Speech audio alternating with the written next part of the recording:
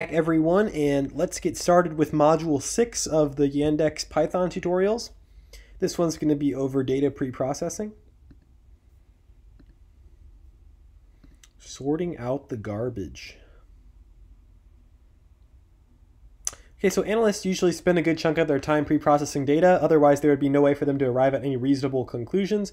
What you'll learn will familiarize ourselves with the most common forms of garbage data in addition to the specialized method of pandas that we'll use to deal with them. And we'll continue working with the Yandex music. Gigo.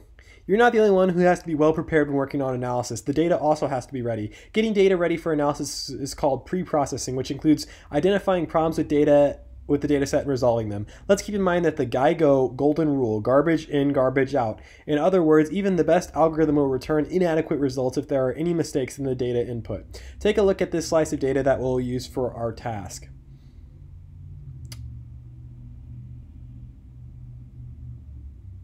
Okay, what catches your eye right off the bat? There are two separate names for the same genre in the genre category relax and relaxation. If we leave it the way it is now, we'll get individual return results from relax and relaxation, even if there's no real difference between them. Since they are both ref referencing the same thing, we won't be able to get an accurate reading for how many users actually listen to relaxing music.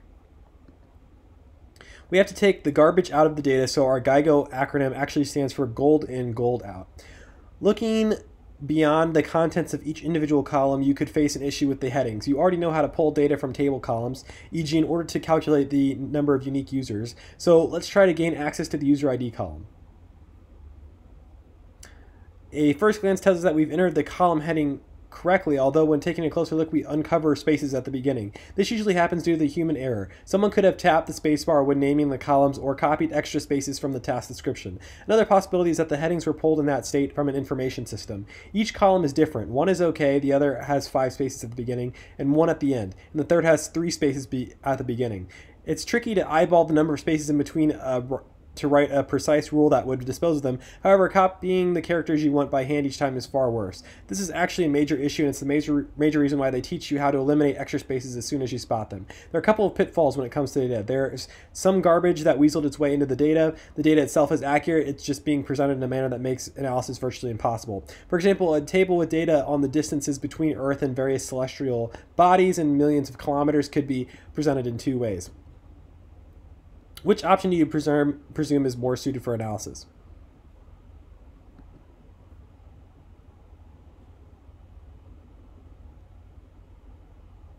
Hunting for garbage. Oh,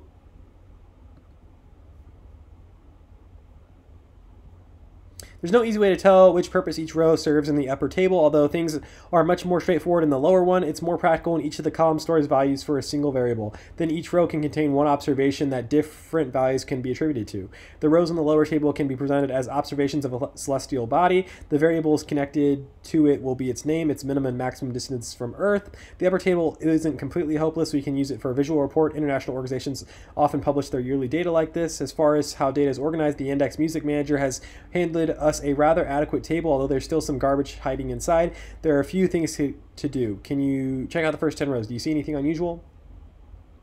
So we notice the not a number here. That looks unusual, and it happens multiple times here. So it's like uh, data is missing in those categories. Let's see if they come up with anything else. We already know about the problem with the column headings. Now note the repeating values. There's something documented as NAN, which is clearly not a band. We also have to dig into rows 1 and 2 since they're utterly redundant. Analysts don't just clean up data, they also communicate with the rest of the team about newly found problems so they can get to the root of the problem. Each different kind of garbage appears in a table for a particular reason. In this chapter, we're going to look at the core tools for dealing with reoccurring garbage. Here are the most obvious as well as the most dangerous. Mislabeled columns, duplicate values, missing values, not a number. Learn how to deal with these problems is your first step towards putting the pro in pre-processing data. For starters, let's call the info method to take a closer look at the summary for the entire data set. Okay, so we want to use df.info. So let's hit play.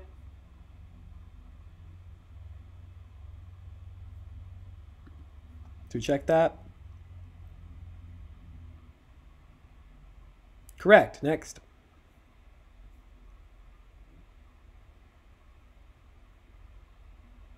Please give us your personal thoughts so far. Ah, I will give it a happy. This is awesome.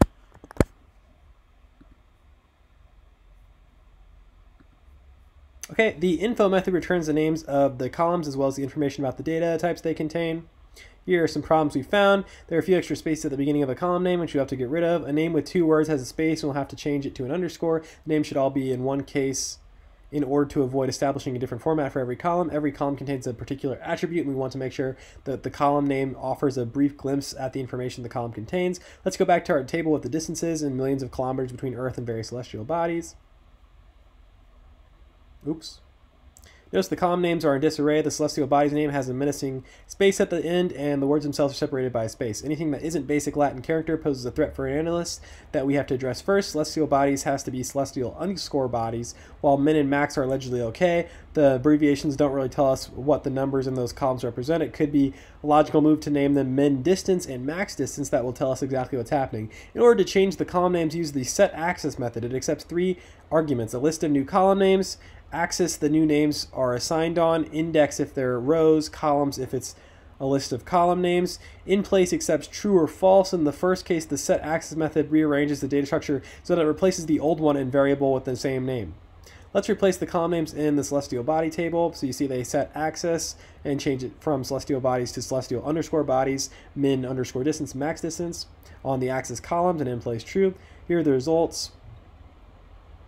Okay, so you can see now there's underscore here and it's min distance here and so on. Done, your table is now ready for analysis. Now let's check the column names in our Yandex music data. Okay, so we want to output the list of columns. So we should be able to do, let's see.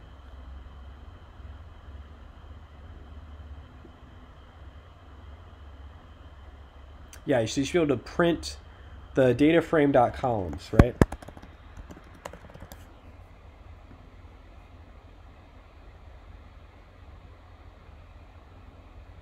Okay, so we can check that. Correct. Next. Prepare the new names list with the new names for the columns. Okay, so new names is going to be equal to list with the attributes user underscore ID. Um, total underscore play underscore seconds, artist underscore name, genre underscore name, track underscore name, hit play, and check it.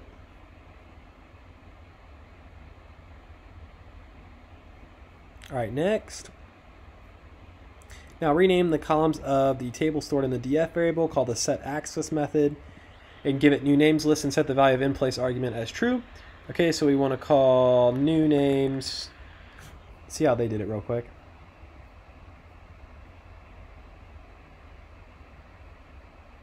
Here we go. Um, df dot set underscore axis and then we feed it the new column names, which is called new names. And then we want axis to be equal to the columns because we're changing the column names. And then they said put in place as equal to true. Okay, so we can hit play here. And check it. Correct. Next. Check to see what you receive by requesting the columns attribute for our df data structure. So now they want us to do df dot um, columns again and probably print that.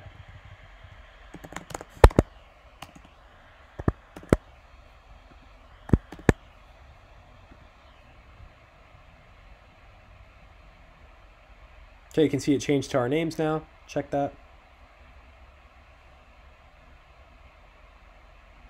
Correct. Next.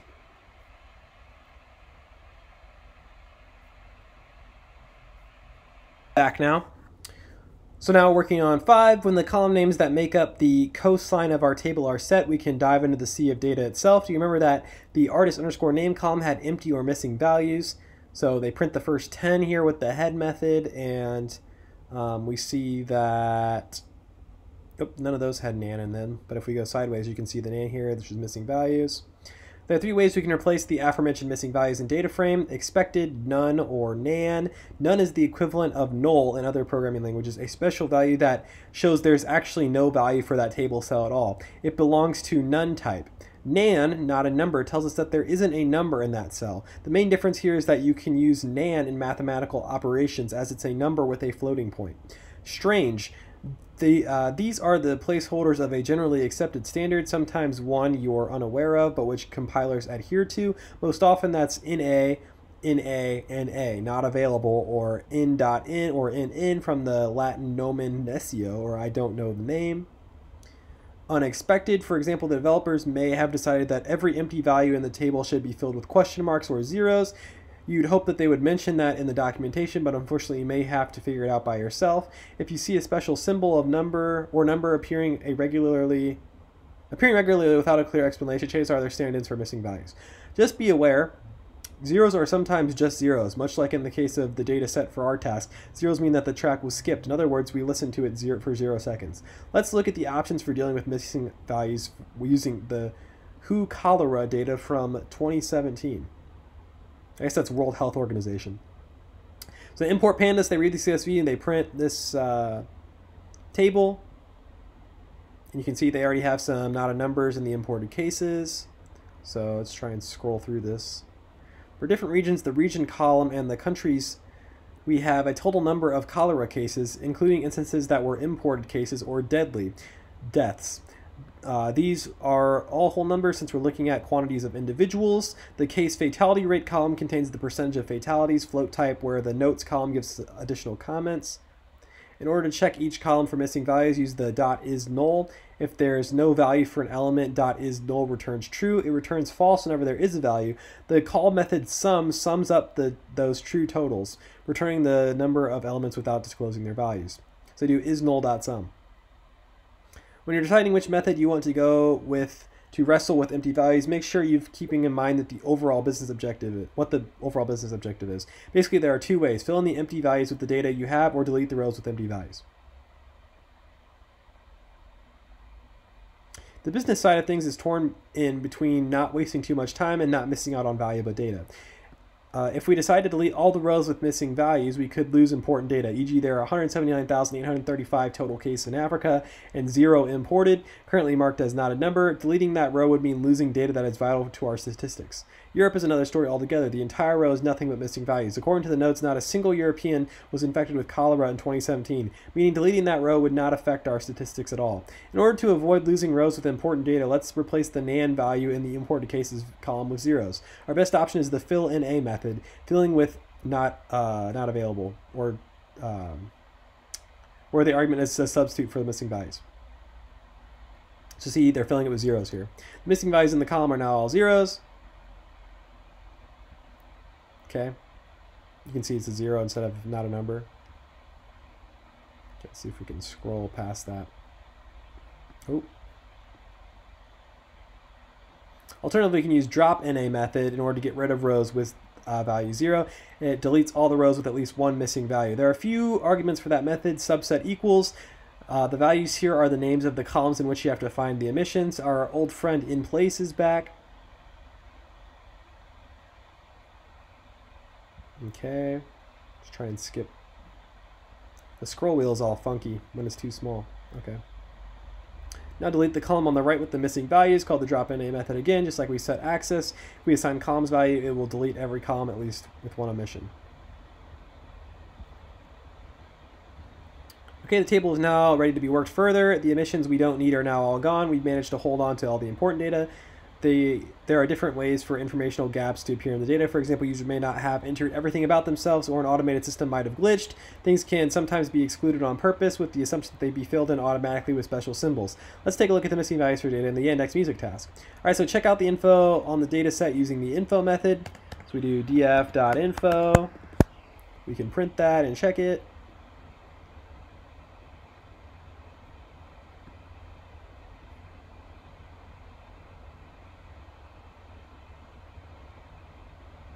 Next.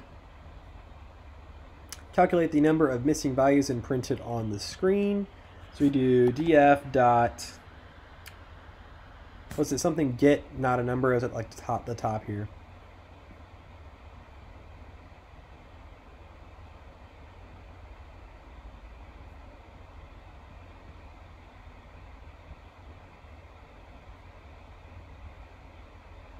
Is null dot sum, right?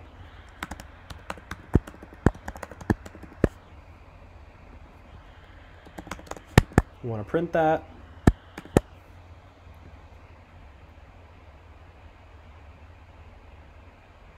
Check that. Correct.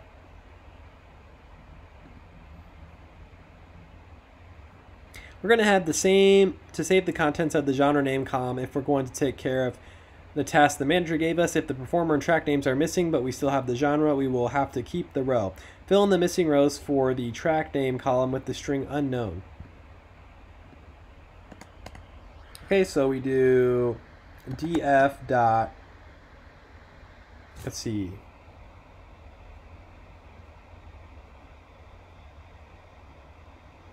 here we go. So df, they said in the genre name column, dot fill in a with unknown. See if that works. Check it.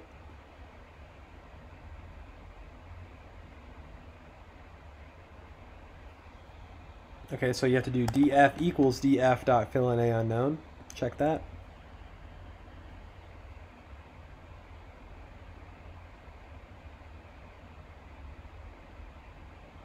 Fill in the missing values in the variable df.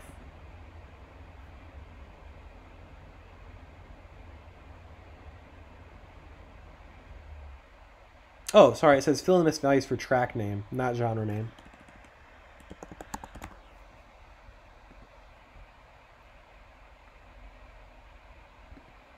Check it.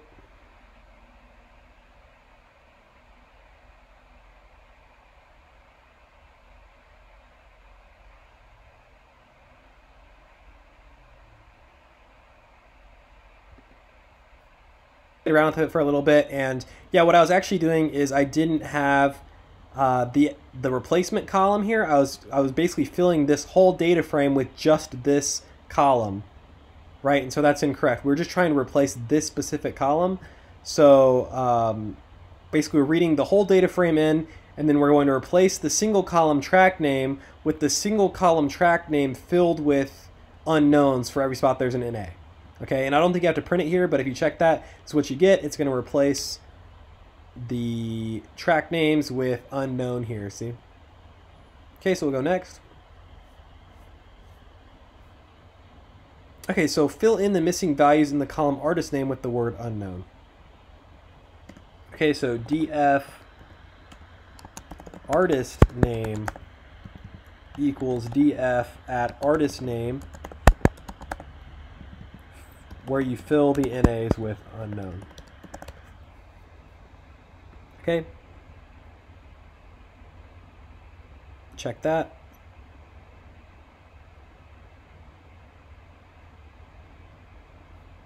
Okay, and it says delete the missing values from the genre name column. Okay, so we do df. It's probably going to be drop NA, right? Let's see how they use that.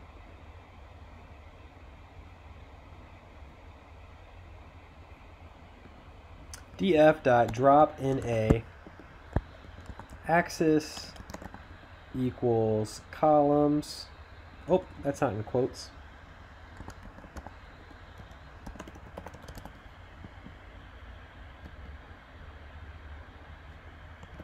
in place equals true.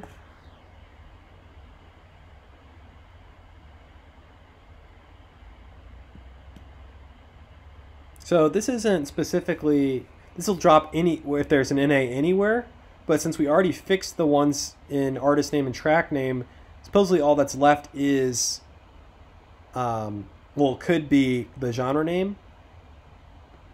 So we could do that sum again and make sure that that's actually what's happening. So if we do um, df dot is null dot sum, this should tell us if there's any any other column.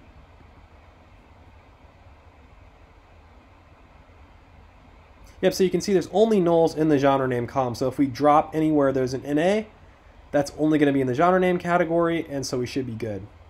So let's check that. Oh, sorry, I, hit, I didn't hit next. If I do df.drop NA, axis equals columns, in place equals true. Check that.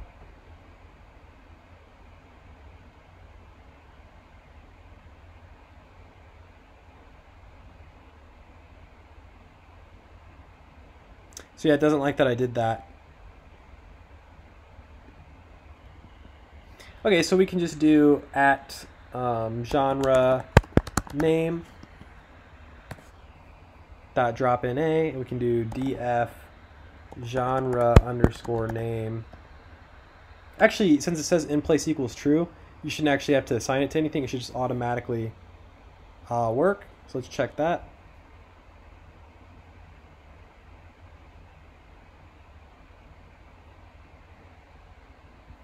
See if we get rid of the axis if that's needed.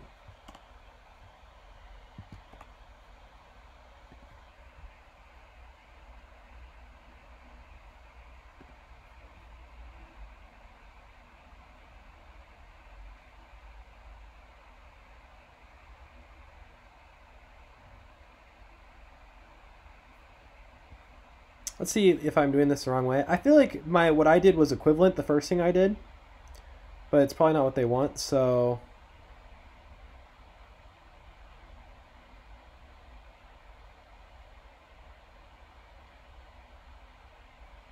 So yeah, you can set it as the subset. Okay, so we'll just do that. So we do df dot drop in a subset equals genre name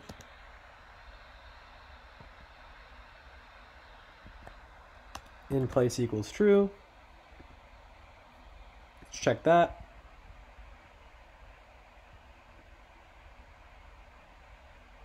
Correct. Next. Now they just want us to do the info method.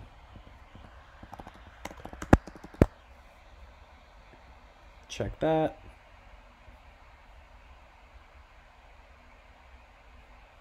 Next.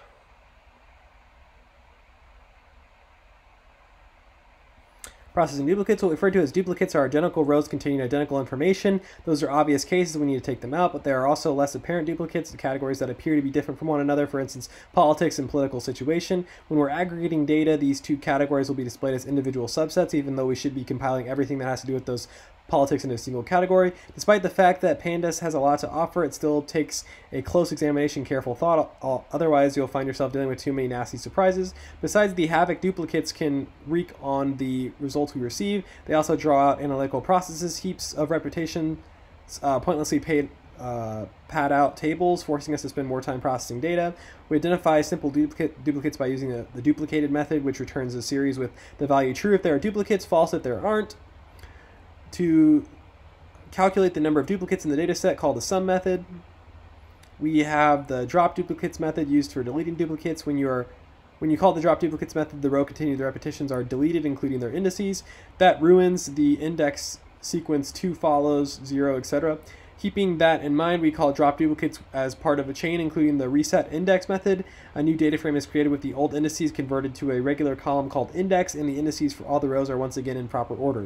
If we don't want to create a new index column, we need to assign the drop with the value true when we're calling reset index. That eliminates the old index values. The code serves, uh, that code saves a newly indexed table without duplicates to the df variable. It's hard to hunt down duplicate category names, although it's not entirely impossible. In order to see all the unique values in a column, use the unique method. For example, ATP tennis ranking of 2018 was updated 17 times, but there are far fewer players ranked at the top of the professional tennis world. If we apply the unique method to the second column, we end up only getting three names.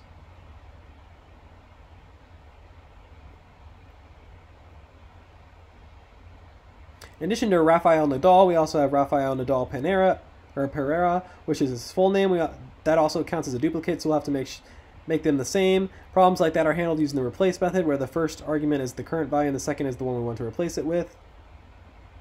Now that everything looks neatly uniform, it's time to dive into duplicates of the Yandex music data table. Save the current dimension of the table in the shape table variable. Okay, so we do shape underscore table equals df dot shape. Let's check that.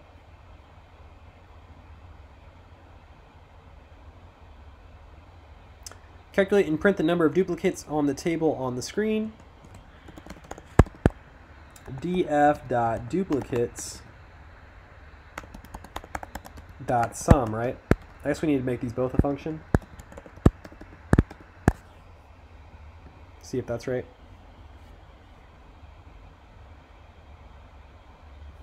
So it's not duplicates, what's it called?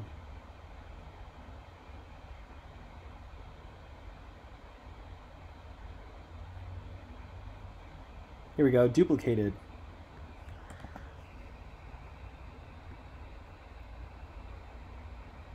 I also forgot to hit next, so I'll copy this and hit next and then paste it. That looks right, right? You got 4011, the single number.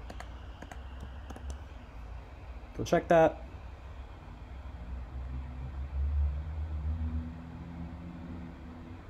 Delete the duplicates using the reset index method in order to save the index order.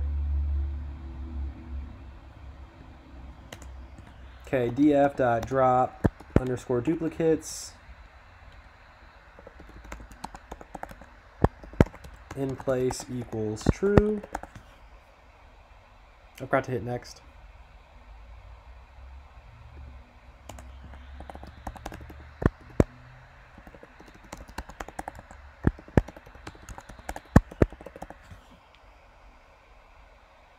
Says use the reset index method. Okay, so have to drop duplicates, no in place, dot reset index drop equals true. We do df equals. Check that.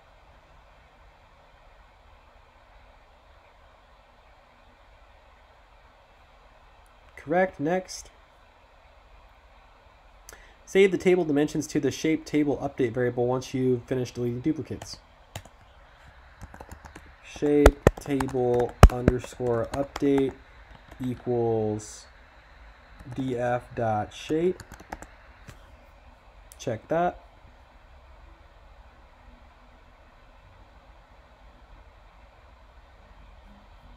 All right, next. Compare the shape table and the shape table update variables if they are the same. Then print, okay, so if shape, oh, shape table equals equals shape underscore table underscore update print table dimensions unchanged current dimensions colon comma shape table update else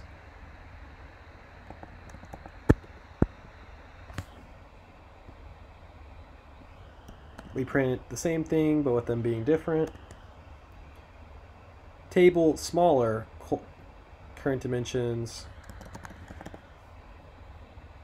Okay, so we can play that and see. It was 4011. Well, I guess that was the number of duplicates. It's but the I think it was like 6300 or something like that. Um, you can see it's, it's smaller. So we check that.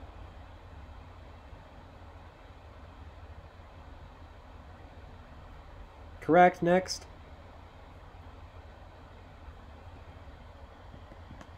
Okay, pull the unique values from the genre name column using the unique method.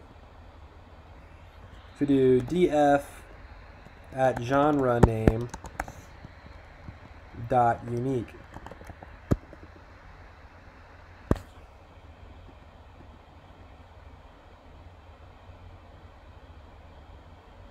Check that.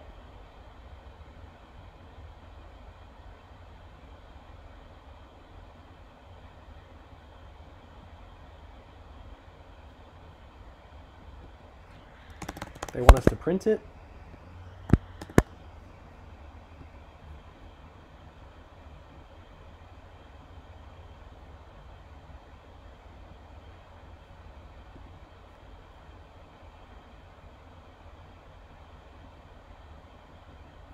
Guess I just wanted to print it. Okay. Replace the relaxation values with relax in the column genre name. Okay, so let's see how we replace here.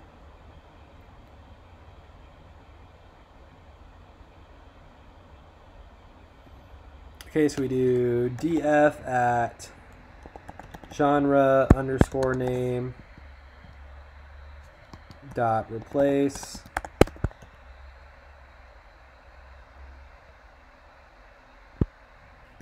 relaxation with relax.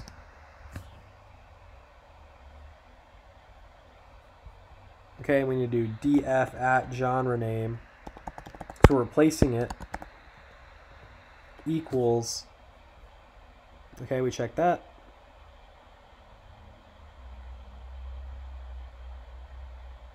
Correct, next.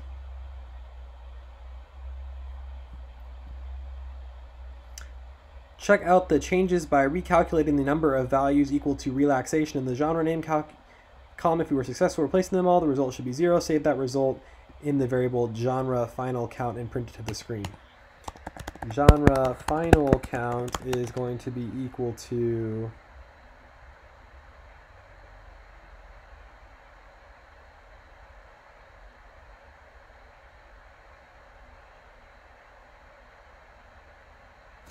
Let's see.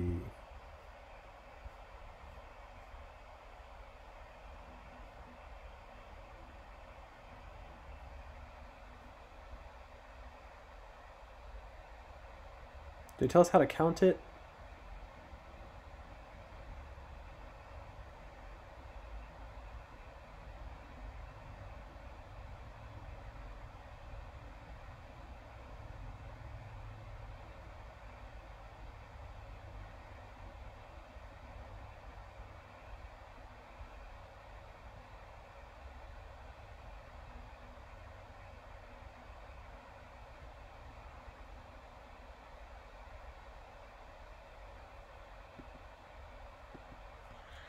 See if we do df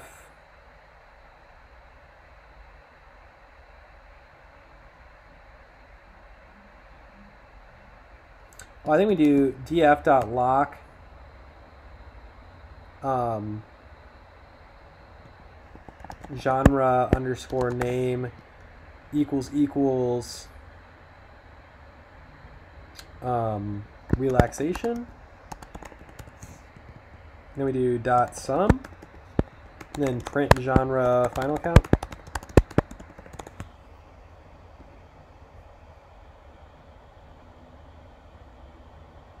So I had this formatted wrong, but it's basically this. So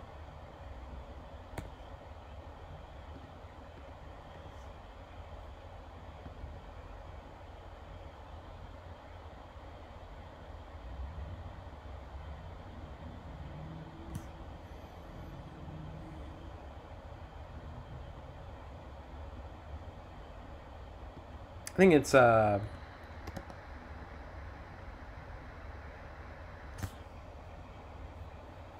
at all. Uh, you just do df at genre names equals equals relaxation, and then take the sum of that, and you get zero. And I checked it and it's correct, so I'll go next. And that's it. So we got rid of the worst of the garbage, gaps, repetitions. We were careful, which is why we made sure not to touch the composition playback time. The information we actually care about, we're finally ready to get down to analysis. What's next? What we have coming up next is the part of the job that's the most mathematical and most creative. This is where the research officially begins. We know what all we have to calculate, but I have no idea what results are going to be. What conclusion will we come to? It's hard to say, but it's so intriguing. So with that, uh, we'll do that next time. So talk to you guys later.